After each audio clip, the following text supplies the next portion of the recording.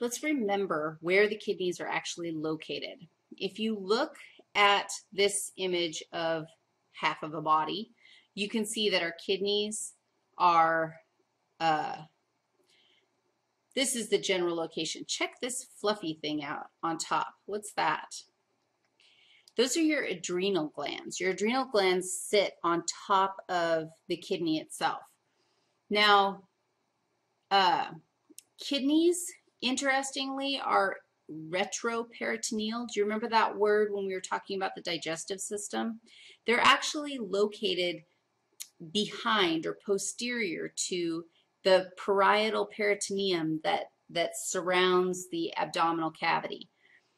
That means that they only have parietal peritoneum covering one side of them, and it's the anterior side of the kidney. So they're actually found behind that. Uh, let's look, I think that's everything that you need to know here. Okay, so let's take a look at a kidney. And not only are we going to look at this picture, but I'm going to draw you a picture as well, just so that you, maybe I won't draw you because look, here it is right here. We'll see what we're going to do. I don't know what we're going to do. Do I ever? No. This whole structure is the kidney. Remember what the purpose of the kidney was? Our whole goal was to filter fluid, blood, the plasma out of the blood and, and make, basically use that plasma to make urine. Hopefully removing just the things that we don't want in the system. So let's label some parts of this kidney. First of all, uh, this, can you see how my kidney has two layers? Do you see how if I draw a line right here, I'm actually drawing, I'm like separating the kidney into two pieces. Well, this part of the kidney that's between the outer edge, but it, it's like, it's an outer layer. It's like a crust, a kidney crust. That's actually called the cortex. T-E-X. That says cortex. And then this inner part that contains like these little triangles or pyramids. This is called the medulla. This is going to be relevant for us when we start looking at the functional unit of a kidney. Like what's the main structure in a kidney that actually does the filtering. It's going to be relevant because we're going to place those in here in relationship to the cortex and the medulla of an entire kidney organ. Now, let's look at some other things that we need to uh, identify. First of all, this structure right here, this is a renal pyramid. Again, remember, what's our whole purpose? We're filtering out the blood. And if you look at the base of every renal pyramid, you have a tube. Do you agree with that? Look at that tube. And look at how all of these tubes, basically a renal pyramid, dumps or empties into a particular tube. And each tube, each tube at the base of a renal pyramid is called a minor calyx. So the pyramids are doing filtering. They're filtering the blood and then hopefully reabsorbing the good stuff. And then whatever's left over becomes urine and it dumps into the minor calyx right here. Now, minor calyces, that's plural for calyx, minor calyces dump also into, what would you call them? Like a couple of minor calyces dump into, of course, a major calyx. So you can imagine that a single re renal pyramid is going to dump into a minor calyx. A couple of minor calyces are going to dump into a major calyx. The major calyx, the major calyces, dump into the renal pelvis. I should have done that in another color. Undo. Let's do it in blue. this right here, it's not a great color. Let's try, should we go yellow? Haha, nice. Do you see how my little green guys are dumping in to the yellow guy? But now you can't read this, but this is the renal pelvis. Can you read that? It says renal pelvis. And I'm putting it in yellow because I put it in yellow here. Now the renal pelvis collects all the pre-P. By the time it gets to the renal pelvis, guess what? There's no modification. But by the time it gets to the minor calyx, there's no, you're not going to reabsorb any of the fluid. In fact, think about this.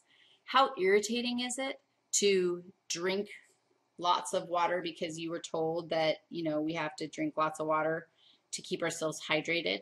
And so you do it, and then you're like, dude, really? I have to go pee again and again and again, and you just pee out all that water that you just drank? Once the pee, once the pre-pee gets to the minor calyx, you cannot reabsorb that water. You can't modify that fluid that is coming out of the minor calyx. It's too late.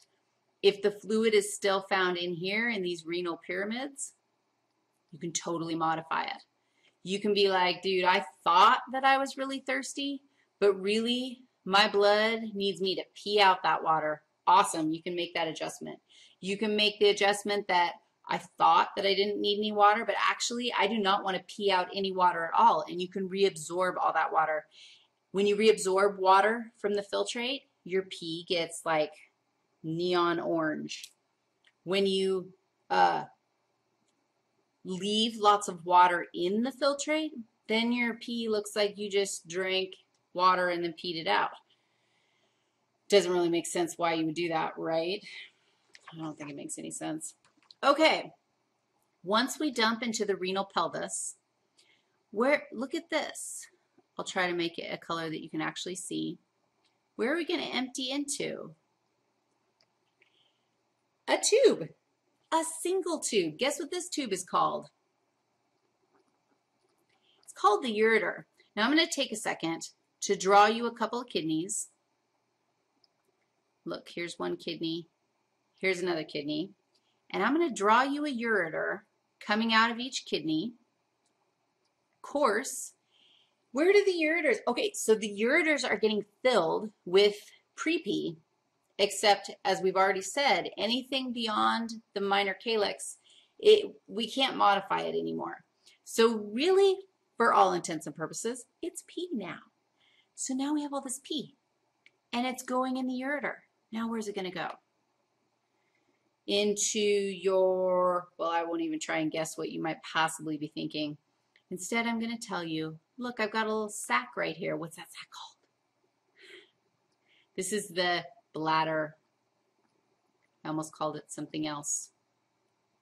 And these guys, what were these tubes called? These are my ureters. You have two ureters, one from each kidney.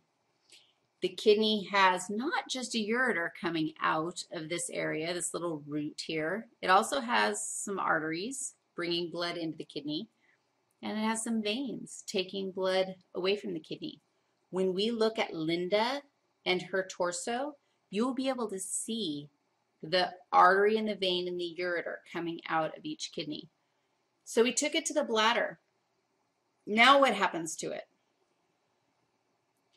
It just hangs out, right? And grows and grows and grows until what? Dude, can't hold it anymore. How do we get it out? All of us, boys and girls, have the next tube. We just have it packaged slightly different. But it is the urethra.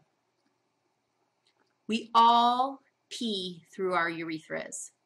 The ladies do nothing else through our urethras. We only pee through our urethras. The fellas, they've got some reproductive function that happens using their urethras. That's cool. You know, I will not start talking about reproductive systems yet. I will stay focused. All right, did we do the anatomy of the, mm -hmm, mm -hmm. sure. I think that's totally clear. Oh, there is something else I want to tell you. Just for the fun of it, just for the fun of it. This, hole number one, hole number two, hole number three. We used to have a prep of a bladder with some kidneys, and we don't anymore. But I kind of feel like, dude, let's go into Myra and see if we can check out her bladder.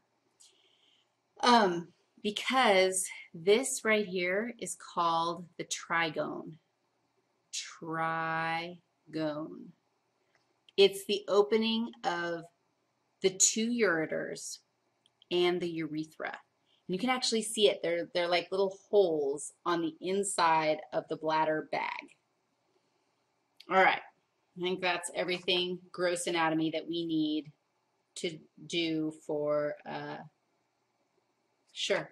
All right. So now we get to go to my favorite part, which are the functional units of like the filters that actually function in the kidney. And that is the nephron. Let's talk about that next.